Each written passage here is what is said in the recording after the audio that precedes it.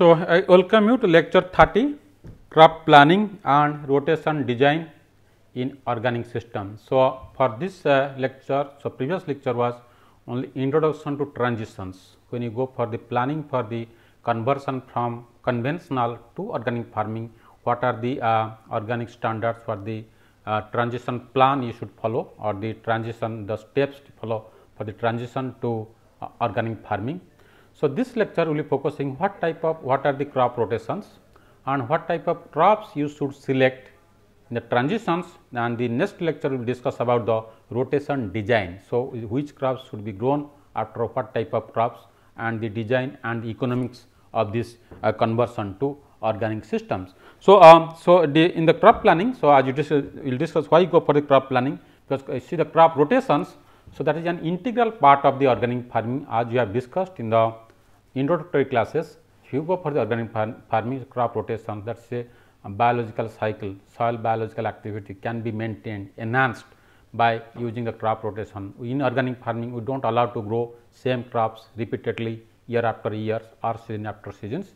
So, reason is that, so there is if you grow same crops the repeatedly then there will be uh, more the insect pest and is very difficult to control insect pest and diseases and also that uh, influence the soil quality also deteriorated having similar crops because they have the similar rooting systems they do extract nutrients from the same layers and the soil becomes uh, less fertile over the years. Uh, to have this ones in organic farming we go for the crop rotations. So, same crops should not be grown in a field year after year. So, there should be crop rotations. So, crop rotation means is a system of growing different kind of crops in recurrent seasons on the, on the same lands. So, it may include 2 to 6 different crops with each crops having particular benefit either financial or environment. That means, when you go for the crop rotation, so you should have the economic uh, impact or the economic benefit of that crop and also the effect on the environment definitely as you are growing different crops in a, in a sequence. So, they, they have the compatible crops should be should should be chosen. So, they have the uh, benefits on the on the uh, economy and also they have the they maintain the soil health and also environment on long term basis. The crops may be rotated every year or at different times in the in the growing seasons because if you grow same yeah, some crops maybe they can be grown in throughout the years. They can be grown in different seasons like uh, the three distinct agricultural season kharif seasons uh, rabi season and zaid season you can see uh, suppose I can take a rice crop or the corn crop. Uh, those crops are the can see in tomato also. So, those crops can be grown uh, throughout the years. You can grow in uh, wet season you can grow in rabi season you can grow in dry season true, but growing same crops should not be uh, done should not be repeated year after years to in organic farming. Many crop rotation will include a legume that means uh, in a rotations you must see that say one legume crop is there in the rotations so, having legume crop in the rotations, so there is a uh, advantages because uh, because it can add uh, atmospheric nitrogens you can you can in the soils by biological nitrogen fixations it can enhance the soil fertility and at the same time um, it can minimize the nutrient demand of the subsequent crops can be grown with less nutrients or less uh, uh, resources uh, because uh, having a leguminous crop in the, system. So, so that is the crop rotations mean you have to uh, that is the integral part of the organic farming where the different crops can be grown to meet the requirement of the farm at the same time to have a better production. So, why to rotate crops? So, uh, this is a very simple uh, simple and already we, have, we know this one why to rotate crops.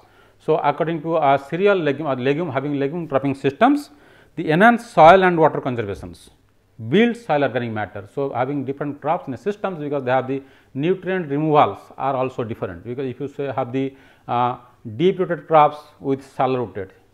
So, it can maintain the soil fertility. Shallow rooted crops takes nutrient from the shallow layers around 20 centimeters and the deep rooted crops takes nutrient water from the deeper layers maybe 40 centimeter. So, that is a balance. So, nutrient the deficit of the, the soil can maintain its own fertility and also build soil organic matter having a legumes in the in the systems provide the weeds, disease and insect control because the most of the uh, weeds the same crop is rotated, the host plant remains same, there is rapid increase in populations.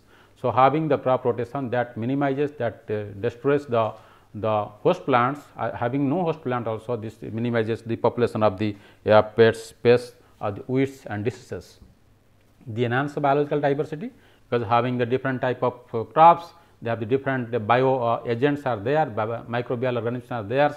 That means that enhances the soil biological diversity having more number of crops, the different root systems, different root systems have the different microbial affinity in the crops. So, that, that have a better biological uh, diversity and also this ensures economic profitability of the farming systems having different crops together. Moreover, you know earlier what happens uh, uh, beginning the farmers were going for the mixed farming when there is no intercropping system they are going mixed farming because uh, in the same field they are growing different crops they are growing the you know um, the wheat they are growing mustard also because the having two crops in the same field it happens that if there is a um, shortage of resources because uh, in case of the drought or the in case, especially in case of dryland farming dryland area we go for intercropping system. Sorghum pigeon pea cropping system is very common in uh, semi arid tropic regions where if there is a stress because um, the uh, especially for peanut it does not require uh, sorry arhar having arhar in sorghum plus arhar arhar does not require high water. Moreover the deep rooted crops and sorghum is a shallow rooted crops or the, the moderately and uh, moderately deep but the arhar is a deep rooted crops they can have the nutrient demand from the different layer of the soils and arhar can sustain on the drought conditions because having deep rooted it can take water or the nutrient from the deeper la deeper layers and it in the under dry conditions it, it can it can survive it can survive.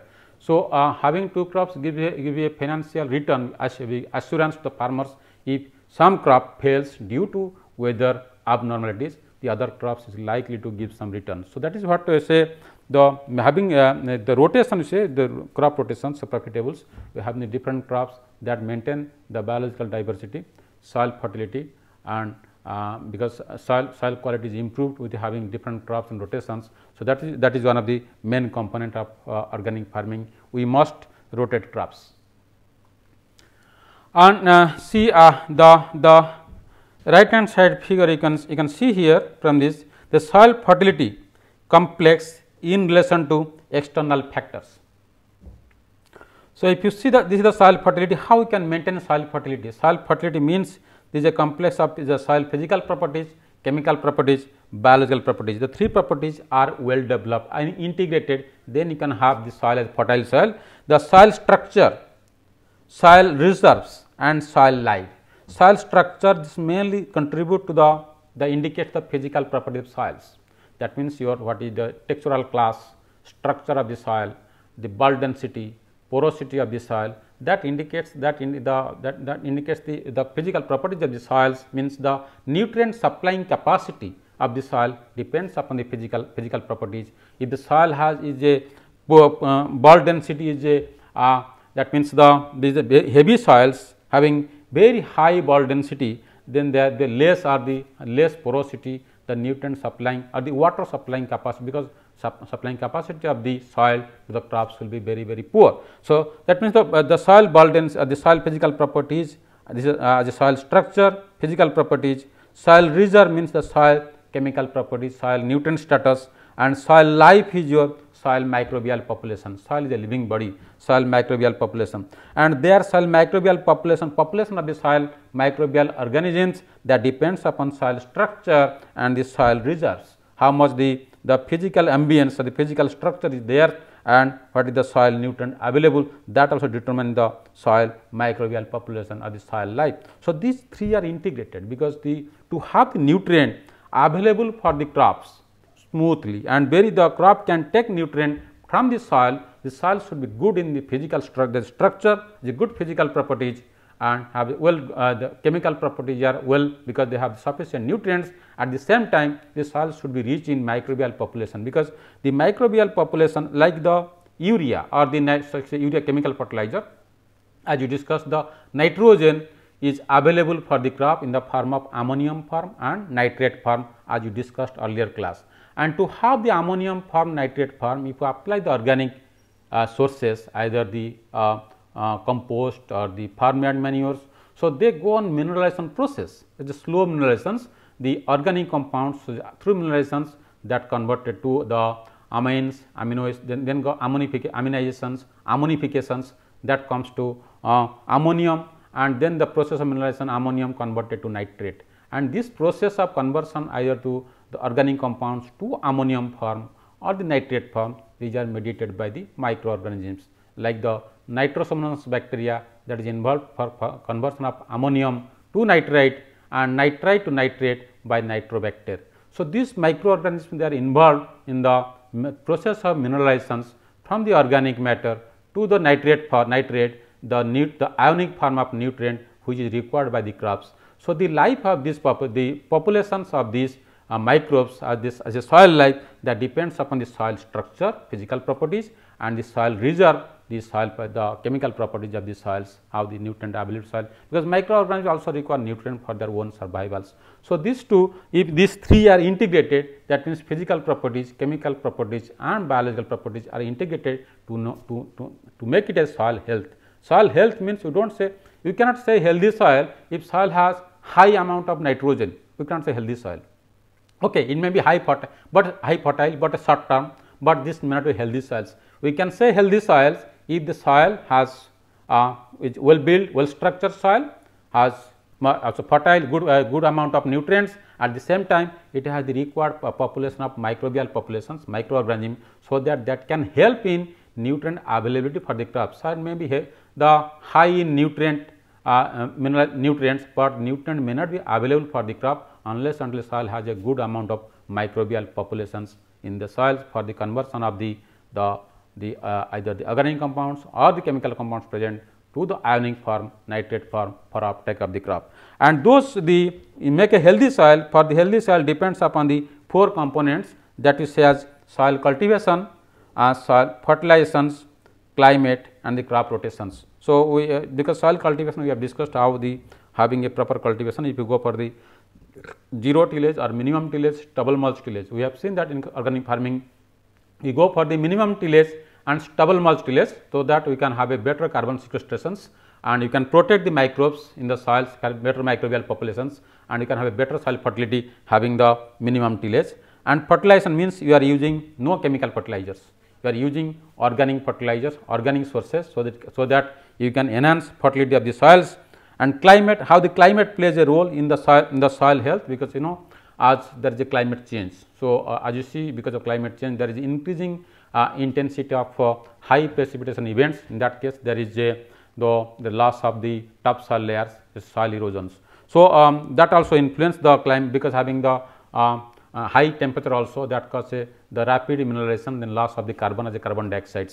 So, that also influence the and soil health and finally, the crop rotations what type of crop you are choosing in the rotations that also we are as I discussed we will discussing also in the, yes, how the crop rotation that also influence the soil health. If you see the rotation and soil quality if you take row crops or you take grass and legumes if you take row crops having more number of row crops that soil quality declines. If you see this figure if you go on taking more number of row crops means your the cereal crops like rice, wheat and maize if you continue in a rotation rice, wheat, maize, then that, that causes declines in soil fertility. On the other hand, if you take the uh, grasses or the, the legume crops like your alfalfa, the cover crops you can say and the chickpea or the groundnut, legume crops or the arhar even also or arhar legume crops that causes the, the improvement in the soil fertility or the soil quality improves having the legume crops or the cover crops in rotation. So, having the crops in rotations in organic farming um, including the legume crops in the rotations that enhances the soil fertility and also that minimizes the nutrient requirement of the, of the crops in sequence. So, how the uh, soil fertility uh, as a quality production as a function of crop rotations if you see the uh, if have the crop rotations uh, having the different crops in a year or in a seasons of different crops then that prevents almost the, the influence of the pest and disease populations. So, that is of the as you follow the crop rotation organic farming as a integral part of organic farming crop rotations the preventive measure in that case. So, many of the pest and disease populations are lowered or decreased having different crops in the rotations and also that that uh, influence the soil fertility. So, having the less pest and disease and improvement in soil fertility that gives a healthy healthy crops in that systems. And in addition to this we have the other management. Are the fertilizations we go for the uh, what type of the, the nutrient sources you are using. Are the uh, as organic source of nutrients. And the soil cultivation as we discussed as soil cultivation means you are going for the minimum tillage uh, instead of conventional because conventional tillage that makes a um, the heavy the, op the opening of the soil loss of carbon as a carbon dioxides and having the minimum tillage or you can say stubble mulch tillage by incorporating the stubbles or crop residue in the soil itself So, that adds organic matter to soils and the less opening of soils, less emission, emission of carbon as a carbon dioxide atmosphere that causes carbon sequestrations and having the cropping systems and then crop protections, organic way crop protections and the nature ma the management. So, that gives a quality production. So, crop protections as a function, function, function crop protections has in as a role as a better role significant role in ha having a the, uh, the healthy crops or the quality quality crops at the same time maintaining environmental sustainability having the building the soil fertility and less uh, uh, effect less effect on the environment because I say zero effect on the environment you can say the effect of agriculture on environment can be minimized having different crops uh, in, in a systems as a crop rotation. Uh, so, uh, the crop selection. So, as you see the, this lecture what the crop selection what type of crop you should choose uh, when you go for the rotations. So, there, there are some of the tips you can follow uh, the uh, when choosing crops follow a legume crops with high uh, nitrogen demanding crops when you go for the rotation. So, initially you can take a legume crops the legume crop can be followed by the legume crop is a less nitrogen demanding and the legume crops can be followed by high nitrogen demanding crops. So, that uh, you can uh, minimize the yield loss of the subsequent crops by having the legume crops earlier because that fixes atmospheric nitrogen that makes the soil fertility and the nutrient demand external demand of the subsequent high demanding crops can be reduced uh, having a legume crop. Then grow less nitrogen demanding crops in initial uh, phase of the rotation as we are discussing when you go for rotations the beginning of the years the transition years, the beginning of the transition years. So, choose the crops require less nitrogen or low nitrogen like leguminous crops or you can take cover crops, you can take chickpea, you can take peanuts. So, these are the uh, say the alfalfa or there is a lucerne also these cover crops that help in protecting the soil from the erosions and also building the soil fertility uh, if you have the cover crops at the beginning of the rotation. Then try to grow a deep rooted crops as a part of rotations that means you, you should follow because shallow and deep rooted not as just uh, shallow rooted crops in sequence. So, if you take deep rooted crops then the nutrient demand from the top soils and the bottom soils they become balance. So, that way you can have a deep rooted crops in the rotations. Grow uh, the same annual crop uh, for only one year, do not repeat the same crops year after year. Use crop sequence that promote healthier crops, health, the uh, healthier the environment. Then use crop sequence that aid in controlling weeds because if you take the, the like the like the sorghum like example that control many of the weeds having sorghum or rye in the systems. So, the crops can be chosen that can have a less uh, weed that, uh, that can control the weed populations and grow some crops that will have significant amount of residue they can leave the residue in the soils. So, residue can be incorporated in the soils as a as a in organic farming. So, that can add uh, nutrient to the soil. These are some of the tips uh, to be uh, kept in mind while going for the crop selections. Then conditions for successful crop rotations as say the, the include the use of cover crops to provide the fertility, uh, control weeds and provide habitat for beneficial, beneficial insect. That means, the cover crops is a lucerne is a good cover crop, but it is grown in temperate climates, but in our case we can grow chickpea. Chickpea also that because the cover crops means small growing crops that cover the entire land surface and they do not expose the land surface to the um, atmosphere in that way they can build also legume crops they can build the soil fertility and they can protect the soil from erosion if there is a heavy downpour, heavy rainfall having cover crops. So, uh, the soil can be protected either from the water or the wind erosion. Then have a diversity of plant species to encourage natural predators, discourage pest and disease build up, minimize economic and environmental risk. So, that already I have discussed having the diversified because uh, rotations usually follow different crops. So, that you can um, pest populations uh, you can you can have you can have the, the crops which can have can enhance the provide the feeding material to the natural predators. So, those type of crops should be chosen so that you can have bio, control biological control of the pest and diseases. Provide a balance between soil conservation and crop production by adding organic matter to the soil uh, to both uh, supply nutrients and improve soil quality properties such as water infiltration and water holding capacity. Also I have discussed um, in detail. Provide weed control by altering the between the warm and cool weather plants and including the weed inhibiting plants like the rye and sorghum, the having the crops rye and sorghum they can minimize the population of weeds in the field.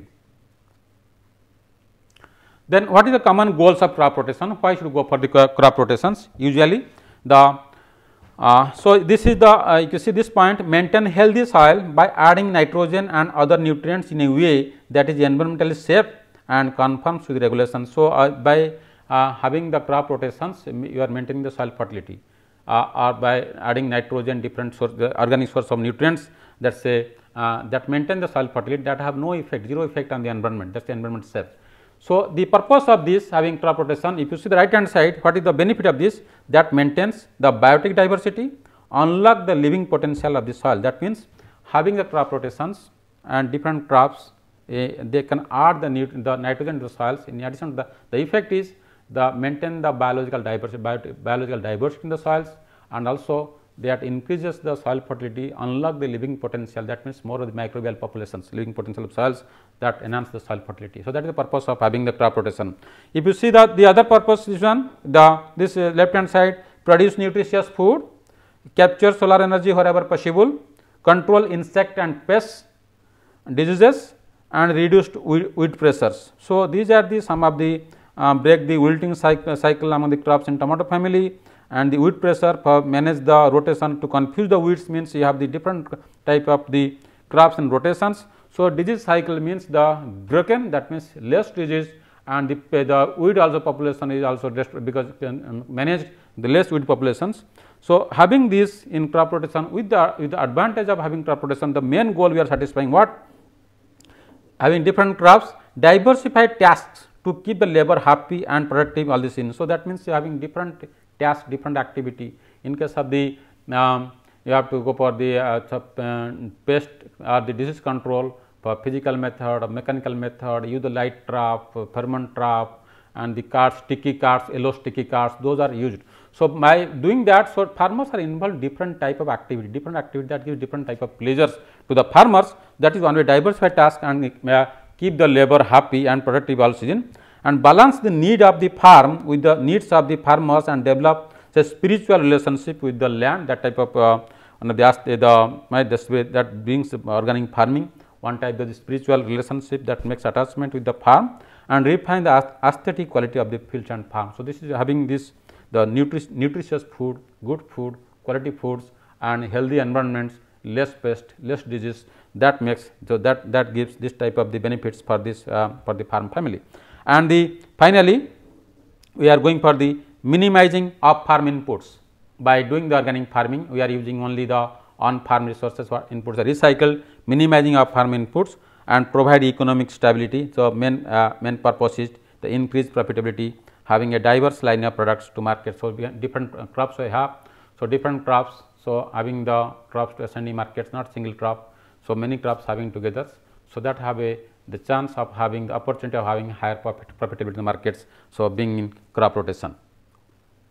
So, so farm size uh, say and, and cover crops and crop rotations, the farm size that affects uh, cover cropping and the management of the crop rotations, organic farm plant cover crops to protect the soil, as soil increase the soil organic matter and improve soil physical properties, already we have discussed this one. Cover crops uh, may also provide habitat for beneficial insects or help the uh, remove the weeds that also we discussed most expert farmers integrate cover crops into their fields at every opportunity. So, that is what say as a cover crops or the legume crops, we should have at least one cover crops, legume crops in a rotations. So, in a year you have the one cover crops, it builds soil fertility and they protect the soil from erosions, either water erosion and wind erosion. So, that should be any expert farmer, they have their intention is to put one cover crop uh, in the in the systems. Many expert farmers use a full year cover crops to restore the soil after intensive use of chemical. Because when you go for transition the first year they go for only cover crops. That is for the large farmers they are the large farmland and for them they can uh, because uh, because this is it does not give any good income actually. To maintain the soil and preparing for the transition preparing for organic. So, first year they can go for only cover crops whole seasons so that the soil fertility can be restored, but the farmers have limited acreage uh, less than 5 acres. Find the uh, that including cover crops uh, throughout the year may be difficult for them difficult task and providing adequate rotation of the crop families of given may be a challenge. So, in that cases what they do they use only beginning of the year one season maybe cover crops and they have to use adequate amount of the compost or the uh, mulch, mulch short term winter crops in place of multi season cover crops especially for the small farmer they do not go for the whole year as a cover crops they can go for the one season cover crops and they can take other measure to take care of their the soil.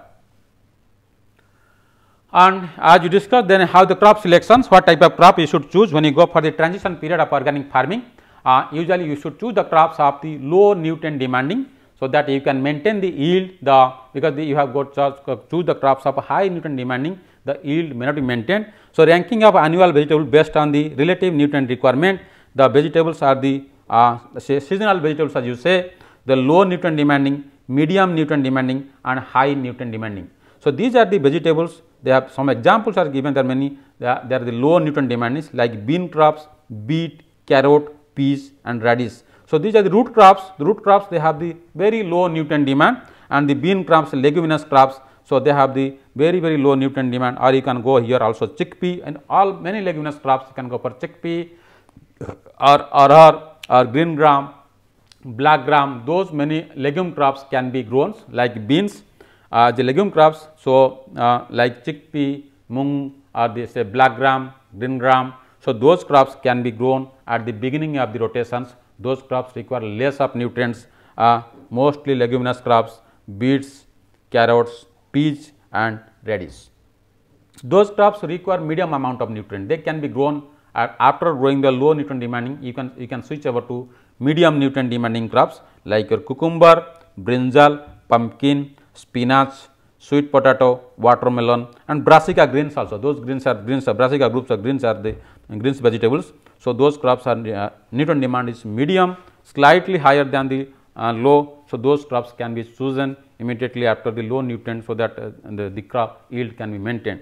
But those crops are high nutrient demanding especially the broccoli, cabbage, cauliflower, lettuce, potato, tomato or sweet sweet corn also cereal crop sweet corn they are uh, high nitrogen uh, nitrogen demand phosphorus and as well as potash demand. As we have discussed potash few crops we have discussed about the potato we have discussed tomato. Potato requires huge amount of potash also. Tomato also phosphorus and potash. So uh, uh, so also nitrogen. For those crops we should not choose those crops at the beginning of the transition. If you choose at the beginning of the transition there will be severe loss in yield of those crops. So, to avoid those losses we can choose the, these crops at the latter part of the transitions when this the soil has because after one two years we can choose those crops so that the yield cannot be sacrificed there will be less loss in yield and yield can be maintained as good as organic uh, um, chemical sorry chemical chemical farming uh, by having the crops at the latter part of the uh, transition. So, that is why when you go for the crop planning during the transition to organic productions choose first the uh, low nutrient demanding crops followed by uh, medium and then you can go for the high nutrient slowly you can transfer to high nutrient demanding crops as you move during the transition period. And also you can choose crops shallow rooted, deep rooted, moderately deep rooted and deep rooted and very deep rooted. If you see the crops in a transition when you go for selecting crops do not choose the shallow rooted followed by shallow followed by shallow in sequence. So, that can be shallow, deep or deep rooted uh, crops so that you can nutrient balance the uptake of nutrient from the um, from the systems can be balanced balance like th those are the shallow rooted crops like rice, onion, cabbage, cauliflower, potato, lettuce. Shallow rooted means 60 centimeter. Those crops should not be grown in sequence together. Rice, onion, cabbage, cauliflower, potato, they should not be grown one after another because if you grow same crops one after another, then the nutrient demand from the same layer increases. The soil becomes very, very unsustainable to provide the nutrient demand of the crops. So, likewise these are the moderately deep rooted crops groundnut, tobacco, wheat, chili, French bean, carrot. So 90 centimeter. And the deep rooted crops around 120 centimeter. Cotton, maize, sorghum, palm soybean, sugarcane, arhar and very deep rooted crops uh, 180 centimeter. Safflower, citrus, grapevine, coffee, lucerne. So, that means the you should not grow shallow rooted after shallow rooted. You can go for shallow rooted after deep root after deep rooted or shallow rooted crops should follow deep rooted crops. So, that soil the fertility can be sustainable to meet the demand of this crop in a cropping systems. So, if you see the schematic uh, summary of the crop rotation we discussed in the crop planning, how we go for the crop planning in the crop rotations. So, in a brief, brief we will discuss then in the next next lecture discuss detail about the about the uh, rotation design. See this one uh, as you go for the as you discuss the planning if you go for planning what is your goal that is the life and the farm goal. So, if you go for the goal set the goal set the objectives. So, when you go for the organic farming as a uh, conversion or the transition from the conventional to organic, you first the set the goals, then income goals and income requirements, then you see the market opportunity, then the production options. So, this uh, so initially you have to set your goals, then set your the income, how much income you are expecting, your target benefit, uh, benefit profit, output, out, out, output, then what is the market potential, the market opportunity, then you can have the production options, production options based on the what is the resource and the technology available and the market. And so, this resource and technology that is your this is your resource and technology that gives your productions. That means, resource is your labor or the field, crop, climate and the equipment uh, limits. So, the technological know-how. So, that gives you a the crop plan based on this the labor, field, crop, climate and the equipment. So, that based on this resource availables and the technology. So, you can have a have a production options that can production options that gives you the crop rotation crop mix. You can decide what type of rotation design you can fix, which crop has to be grown and what crop should follow which crops, how you can make a rotation plan, rotation design for the organic systems based on your resource, based on technology, based on the market potential. Then you can take the support from the institutions as a know-how, technical know-how consultancy can be taken from institution and with this we can have a crop mix then match field and the crops. So, sometimes there is you can have a alternate plan also. When you go for any business plan, we should have alternate plans. That means, the weather and other uncontrollable events, if there is some unforeseen events that like weather or something else, then you, you can have the looking at the then market opportunity, production options, then you can have a alternate alternate crop plan. So, likewise, you can you can have a uh, set your the plan and set your rotation design based on the the resource available we have the field field what type of climate is there and what uh, the technology you have and the market demand what where you want to sell your products. So, if that means if you do not know where to sell do not plant it. So, you have to see the market accordingly you can have a balance as a mix as a crop mix what type of rotation design you can fix and once you have the rotation design then you, have, you may have one alternate plan also if there is something unforeseen event takes whether abnormal there may be drought there may be flood problem. In that case how you can tackle the situation? That also some alternate proposal has to be made ready. So, this is what the, the summary of crop planning may the many expert farmers do extensive planning say and record keeping of the on paper. So, that is very important when you go for the record.